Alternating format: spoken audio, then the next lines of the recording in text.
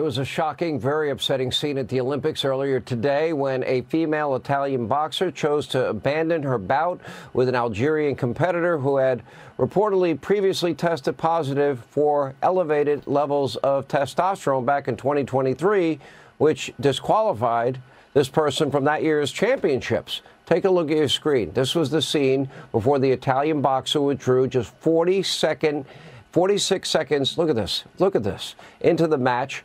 The Italian boxer was distraught after the bout, saying that she felt a severe pain in her nose and said, enough, never been that, hit that hard ever.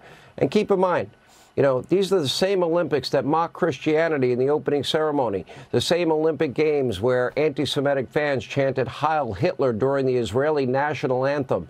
This is exactly what advocates of protecting women's sports have been warning about the whole time. And while some sports governing bodies have taken steps to prevent horrific scenes like this, not all have.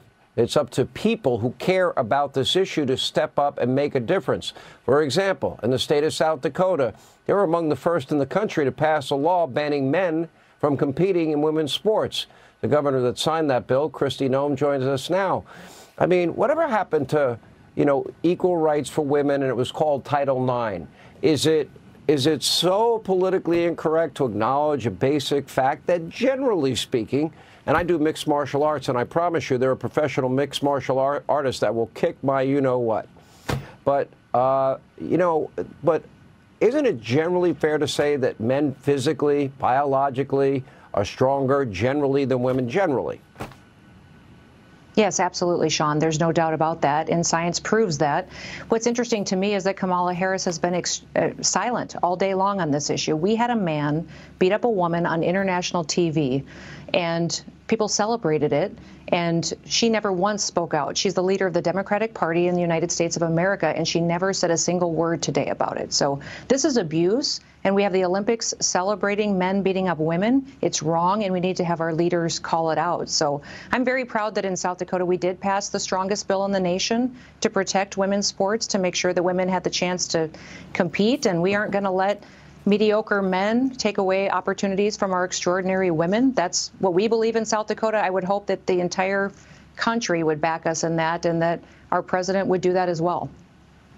What do you make of the Olympics overall? Heil Hitler during the the national anthem of Israel during a match, uh, then the opening ceremonies mocking Christianity?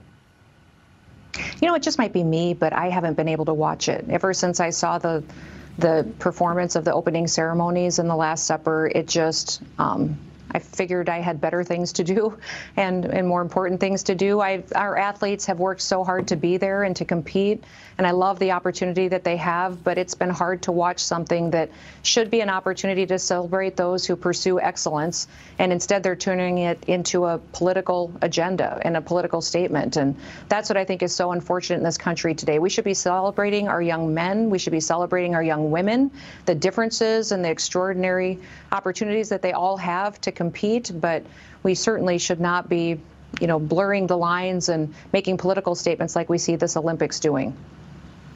So a lot of flipping, flopping, and flailing since she became, Kamala Harris became the presumptive Democratic nominee, mandatory gun buyback, oops, I changed my mind, uh, fracking, oops, I changed my mind, Medicare for all, uh, no private health insurance, oopsie daisy, changed my mind, Green New Deal, oops, she co-sponsored, changed my mind. Do you remember this ad when John Kerry? I voted for the 87 billion before I voted against it. Remember him? And he flipped and flopped. This was a pretty famous ad. Which direction would John Kerry lead? Kerry voted for the Iraq War, opposed it, supported it, and now opposes it again. He bragged about voting for the 87 billion to support our troops before he voted against it. I would think that this is really, when the time comes, there's a lot of fertile ground for the Trump campaign. What's your reaction? Well, she's by far the most extreme candidate that's been nominated by the Democratic Party in the history of our nation. But what I would say, Sean, is I don't believe Kamala has even spoken to what her new position is on all these policy issues. What we've seen is uh, statements put out by staff. We've seen statements put out by her campaign, but she hasn't said a single word. She hasn't done an interview. She hasn't said what she believes. So she's the same person that she's always been for years. Uh, she has been extreme on all these issues. Uh, she does not hold the beliefs of the United States of America to heart and want to defend our freedoms and liberties. And that's what I hope the American people really see before we get to Election Day. Yeah, I think you're right. Uh, Governor Noem, we appreciate you uh, being with us as always. Uh, thank you.